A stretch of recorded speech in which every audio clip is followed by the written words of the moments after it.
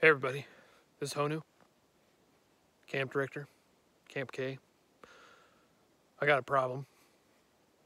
I got so excited about camp this summer that I went to camp. But it's a little cold.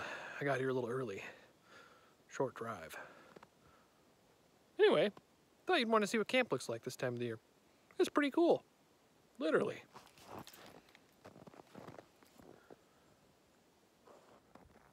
Pretty snowy.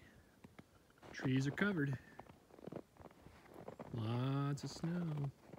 I don't know about you guys. I think Gaga in the snow would be great.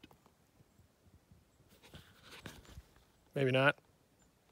No, I think it'd be great. One of the coolest things about camp this time of the year, the lake. Right now it's uh it's pretty cold and uh there's a whole lot of beach. I don't know you guys. Think I'm gonna wait till the summer to start my uh, narwhal count. Yeah, it's a little bit cold.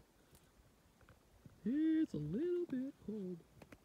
Anyway, so long, Camp K. Until next summer.